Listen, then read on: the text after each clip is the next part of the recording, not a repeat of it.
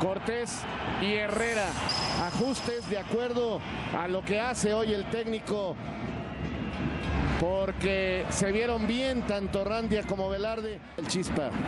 Velarde con la pelota. Fuentes le hizo el movimiento. A ver, Chispa Velarde toca hacia adelante con Cortés. El control de Cortés que entra al área. Cortés, Cortés. La pelota está en el fondo.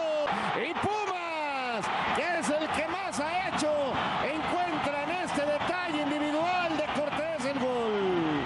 Ahí está. Cortés haciendo la jugada. Sacó de la chistera algo y nos regala el 1 por 0 para los Pumas que tiene contenta su afición. Fíjate Raúl, no me parece que haya hecho un buen control. La cancha no está nada sencilla. Se quejaba Fuentes de que no le dan la pelota, pero en el control aprovecha bastante bien el cuerpo. Después hace un pequeño toque que le permite hacerle un túnel al defensor. Aquí esto es importantísimo.